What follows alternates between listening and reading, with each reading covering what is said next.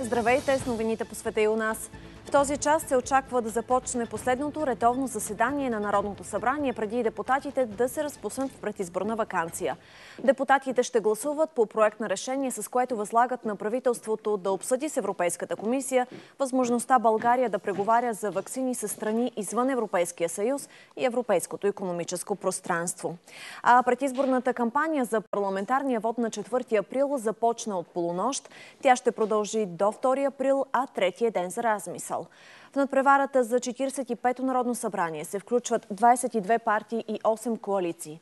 До 31 март болните от COVID и карантинираните трябва да подадат в Общинската администрация заявления, че ще гласуват с подвижна урна.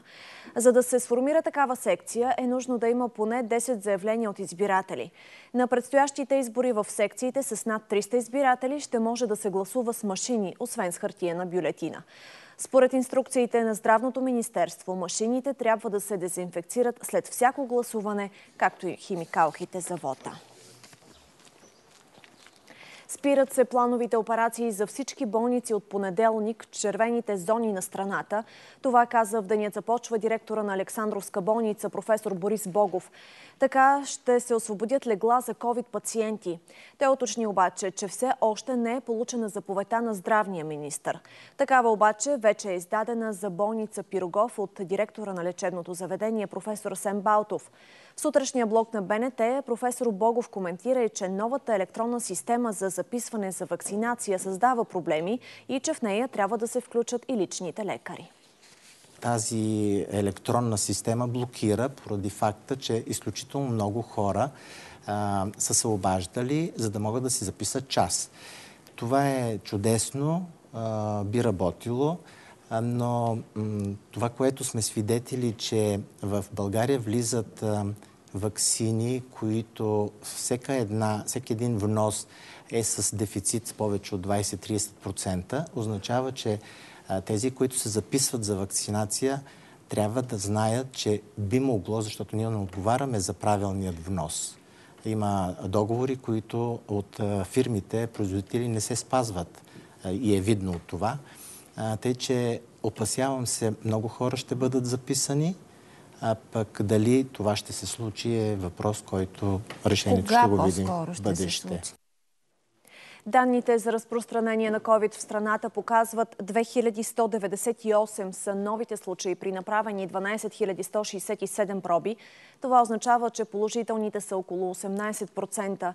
Вакцинирани са 20 376 души. Общо поставените дози са 268 500, а над 46 700 са получили двете дози. До сега няма регистриран грипен вирус у нас. Това каза в денят започва вирусологът Любомира Николаева Гломб.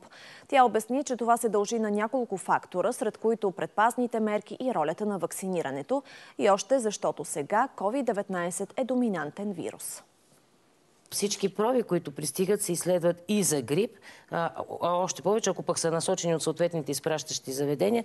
Така че до момента, днес сме 5 е, март, няма регистриран случай на грипен вирус. Ня... В момента не се вижда много други, нали, други причинители на респираторните инфекции, е, но може би това е защото а, в биологията има едно такова явление, вирусна интерференция се нарича и обикновено един вирус става доминантен и към момента това е COVID-19. Папа Франциск заминава за Ирак. Това е първото му пътуване от началото на пандемията и първото посещение на глава на Римо-католическата църква в мюсюлманската държава. Целта на 4-дневното посещение на папата е да вдъхне увереност на намаляващата християнска общност в Ирак и да насърчи междурелигиозния диалог.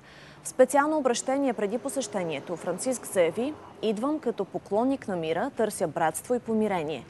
Наситената му програма включва среща с един от най-видните духовни шиитски водачи, литургии в Багдад и Мусул.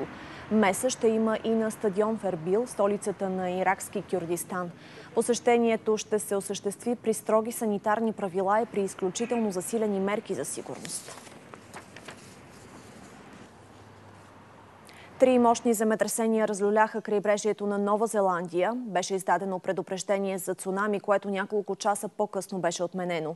Най-силният трус е бил със сила 7,9 по Рихтер, според Европейския сейзмологичен център, като най-близо е Северният остров. Местната агенция за извънредни ситуации нареди на жителите да се евакуират.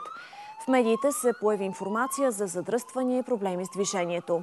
По-късно стана ясно, че гражданите могат да се върнат по домовете си, но препоръката е да избягват крайбрежието. В Южния Тихоокеански архипелаг и Нова Каледония се вдигнаха вълни около 3 метра, а по бреговете на Перу, Еквадор и Чили е имало вълни с височина около метър. Няма данни за жертви и щети.